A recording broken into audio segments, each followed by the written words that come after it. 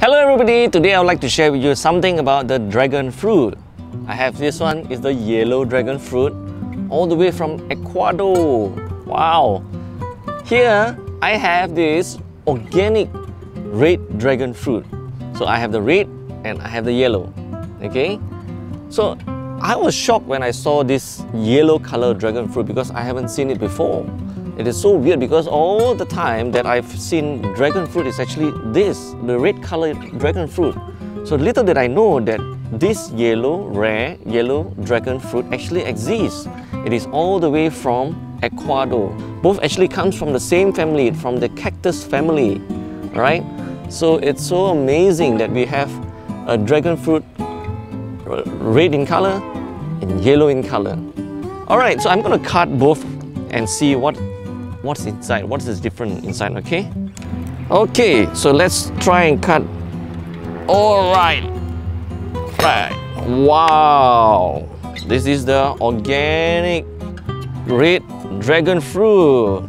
Wow. So I'm gonna cut this yellow dragon fruit. Is it red inside? I'm not sure. Let's check it out. Wow. Look at this. Amazing. Whoa.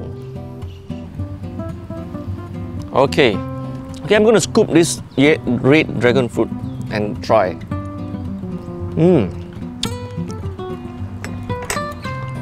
The texture is quite firm and soft. And then I like the, the taste of it. It's very fruity, has got a um, Slightly has got a, a, a, grapes feel type of um, taste as well. Mm. And it's a very sweet, this organic uh, red dragon fruit. So before I try the yellow dragon fruit, let me take a sip first of this 100% pure pineapple juice. Mm. Now, it's time for me to try the rare yellow pitaya. Okay,